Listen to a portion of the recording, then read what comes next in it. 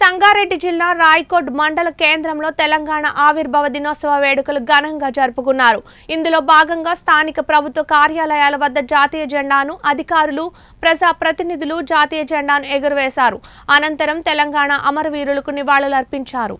ఈ సందర్భంగా ఆత్మ కమిటీ చైర్మన్ చేవెళ్ళ వేటలు మాట్లాడుతూ అమరుల త్యాగాల పునాదుల మీద ఏర్పడిన తెలంగాణ రాష్ట్రం అన్ని రంగాల్లో అభివృద్ధి చెందుతుందని గుర్తు చేశారు. అమరుల త్యాగాలను మర్చిపోమన్న ఆయన వారి ఆశయ సాధనే లక్ష్యంగా టీఆర్ఎస్ ప్రభుత్వం ముందుకెళ్తుందని అన్నారు. అందులో భాగంగానే దేశంలోని ఎక్కడా లేని సంక్షేమ పథకాలు అమలు చేస్తుందని గుర్తు చేశారు. ఈ కార్యక్రమంలో ఎంపీపీ మమతా అశోక్ జడ్పీటీసీ మల్లికార్జున్ పాటిల్ మండల పార్టీ అధ్యక్షులు బస్వరాజ్ పాటిల్ ఎంపీటీసీలు జనరల్ సెక్రటరీ శంకర్ వారం vice Tukaram co-option member Abed Ali మండల అధికారులు పాల్గొన్నారు.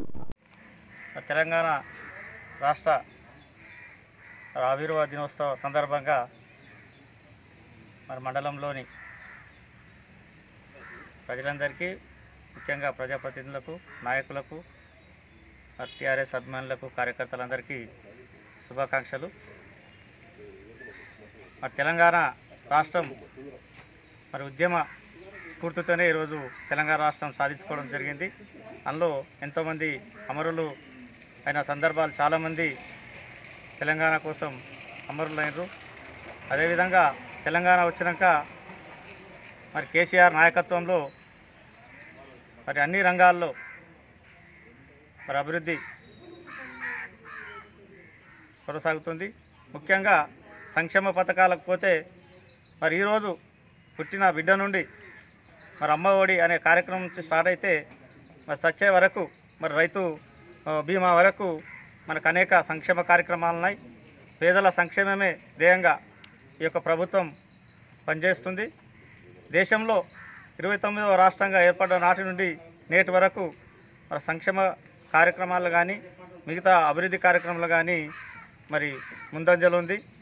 మరి దీన్ని కొద్దిమంది మరి ఏదో ఎగతాళి చేయడం మరి విమర్శించడం పద్ధతి కాదు. అదేవిధంగా మున్ముందు ఏదైతే ఉందో మనకు ముఖ్యంగా కాళేశ్వరం ప్రాజెక్ట్ అనేది మరి ప్రపంచంలో ఉన్న అతిపెద్ద ప్రాజెక్టు. దీని ద్వారా గ్రామ గ్రామానికి మరి నీటి వసతి కల్పించేందుకు మరి ప్రణాళికలు సిద్ధం చేయడం జరిగింది. మున్ముందు మరి ఈరోజు చేసిన పని మున్ముందు ముందు తరాలకు మనకు అది రైతులకు చాలా ఉపయోగపడుతుంది. దాన్ని దృష్టిలో పెట్టుకొని మరి మనం అంతా ముందుకు పోవాలని తెలియజేస్తూ మరి అందరికీ మరోసారి తెలంగాణ అభివృద్ధి దినోత్సవ శుభాకాంక్షలు తెలుసు